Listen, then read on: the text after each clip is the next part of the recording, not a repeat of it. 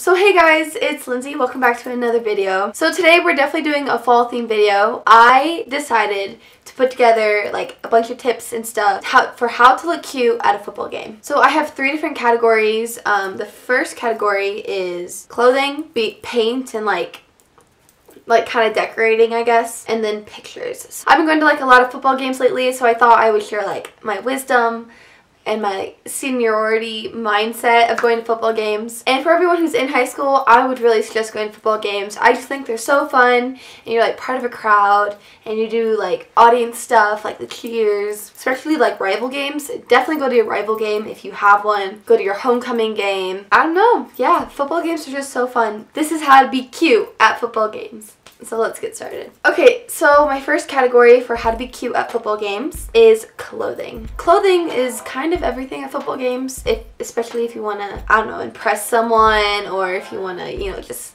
really feel yourself, feel, feel school spirit. Yeah, so school colors, anything with your school colors. My school colors are red, black, and gold at school they'll announce like, oh, this week's game is a red out or a white out or a black out. So just like really pay attention to if your school is doing like a theme or specific color. Um, but if all else fails, just wear your school colors, honestly. Like just show up in a black shirt if your school color is black or show up in a purple shirt if your school color is purple. So yeah, just pay attention to your school colors, pay attention to themes that are happening. My next thing is a shirt dress. You can never go wrong with a shirt dress. At my school, it's really popular to get like an oversized shirt, like a large shirt, and um, just wear it as a dress. Like you just wear some spandex under it. So this is one I recently just made. This is just a large white shirt. Um, so yeah, this was because this is a white because we had a whiteout at my school. And this was during our rival game. So really I just kind of put some handprints on it.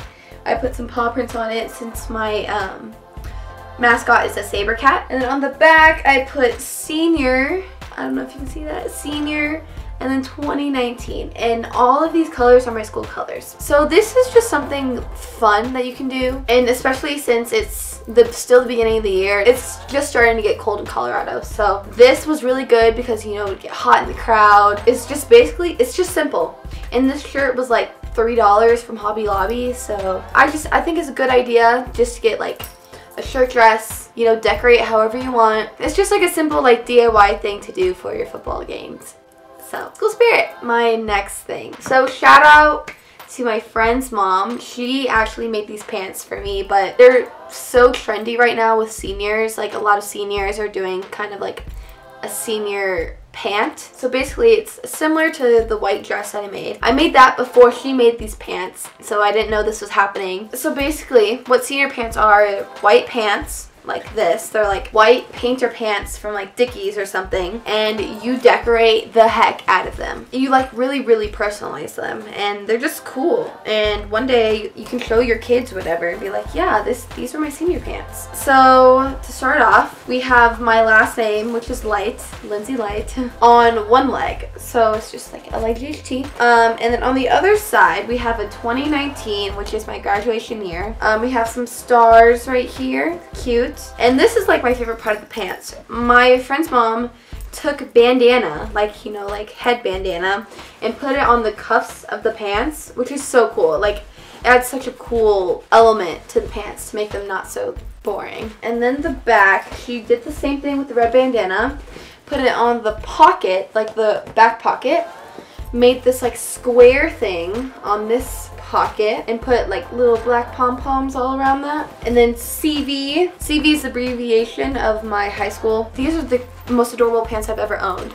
So thank you to my friend's mom for making these because they're literally amazing and she's literally amazing. She spent all day making these for my friend and I. And yeah, I'll probably wear them to multiple, multiple football games coming up. So that's just something that you can have like you and a friend do, like a DIY project. It's just, it's just fun football games are supposed to be fun, so just look fun, you know?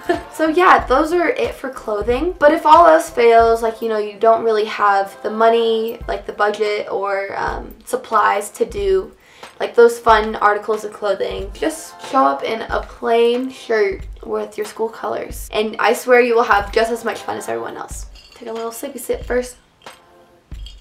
I'm really getting the fall spirit today. This is pumpkin spice creamer. So good. So my next like area of expertise is in paint. So as you can see on that shirt that I just showed you guys, I took fabric paint and I just like put my handprints on it, put paw prints on it, and then I wrote. So since I wore a dress, you know, I have skin exposed. Um, so if you're gonna go to a football game and have like skin exposed, it never fails to have like handprints all over your legs. That just makes it look so cute, especially for pictures, which we'll get into later. I used fabric paint the last time that I did this, last time I did handprints, and it works. It just it's a little weird when you clean it up. Like it falls right off with water, but then it sticks to your tub. So just be careful with fabric paint. It depends. Like sometimes it'll really stick and sometimes it'll shave off, but it really works for your face. So if you want to use your fabric paint for your face, it will stay. But be careful when you're wiping it off because it's not really meant for skin, if you know what I mean. Like, it's, it's one of those iffy areas. Again, use your school colors. Don't do some uh, random, like, hot pink.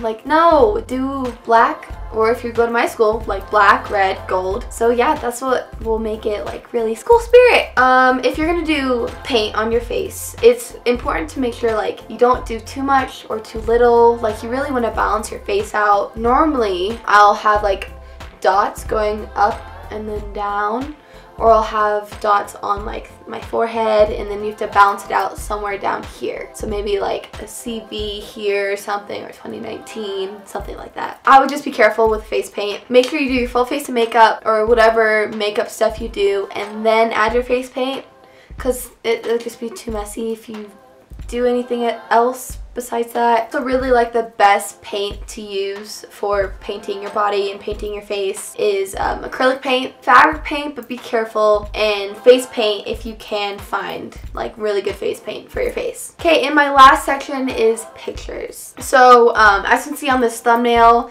this was just a really cute picture I took at my homecoming game with my best friend. The whole point of going to a football game is just being like, woohoo, school spirit, and like, I don't know, just being enthusiastic and kind of letting letting loose from school. So make sure in your pictures, you know, you kind of carry out that feeling, like spontaneism. Is that a word? Be spontaneous. Like that's kind of what football games are all about. Be spontaneous, you know, a step out of your comfort zone. Have it translate in your pictures and your pictures will be really cute. Some really great areas that you can take pictures at football games are on the bleachers. Like the one in my thumbnail is on the bleachers before everyone like crowded up. On the field, on the field it's really good, especially after the game. It just, it just makes makes it like really Friday Night Lights feel, I guess. Like like you're on the field and it makes the game more personal. And the last thing is like in the crowd, like once everybody's like filled the bleachers in the crowd is like a really cute shot too um, especially like with stadium food like maybe you'll get a slushy or a hot dog or something if you take like a really cute picture it could be like a cute like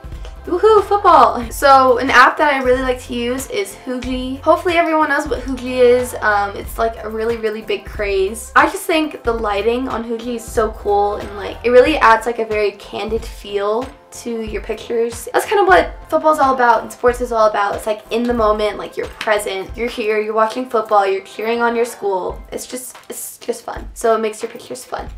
um, and then obviously I talked about this in my last video. VSCO is how I edit everything. So, so something that will make you especially more personal to like the football game is if you can find friends who are on the football team, in cheerleading, on the cheerleading team, on the Palms team, maybe in band, or whatever, like something that's kind of relating you even more to the school than you just going there, then um, it really makes like a fun experience for everyone. And it makes for really cute pictures because it's like, I know a football player, I know a cheerleader, like, I don't know, it like makes, it makes you look more involved. So yeah. And then my last thing is close-up pictures like on the bleachers or on the field, like kind of candid that are I guess more like Instagrammy model-esque Instagram is kind of what it's going for. But those are super cute, especially if you have paint on your face, like the golden hour when the sun is setting before the game even starts. Those make for really, really, really cute pictures. Or I have one from the last football game, which I think is okay, but it's still it's still kind of cute like when you first look at it. So that's how you can make really cute pictures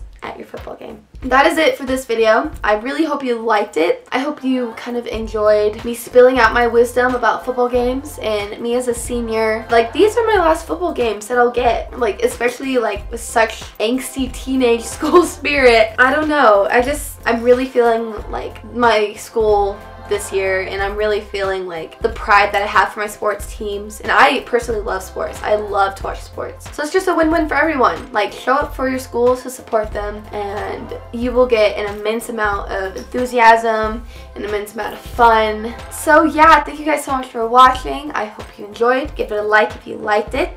Comment down below anything at all. Anything about football. What's your favorite aspect about the football game? I don't know what else to say. I'm good. I just sped through this video. But that's okay, because we about to look cute at football games. Yes, we are, because I just gave you all these tips. Next time I will see you, I will probably be in Mexico. So stay tuned for all my Mexico videos. because It's so fun. Okay, bye guys.